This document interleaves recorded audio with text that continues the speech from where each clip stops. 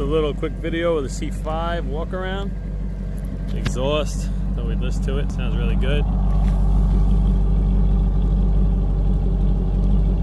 Nice and clean. Gonna be a cam in it soon. With our wide body fenders from L5. Some tires, uh, 345, 30,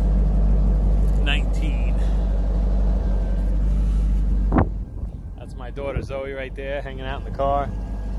The Z06 vents, ZR1 carbon fiber fenders, carbon fiber hood. The um,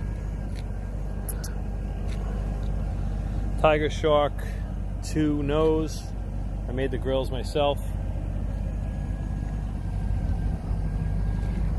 Love these wheels though, black chrome. Not pretty good.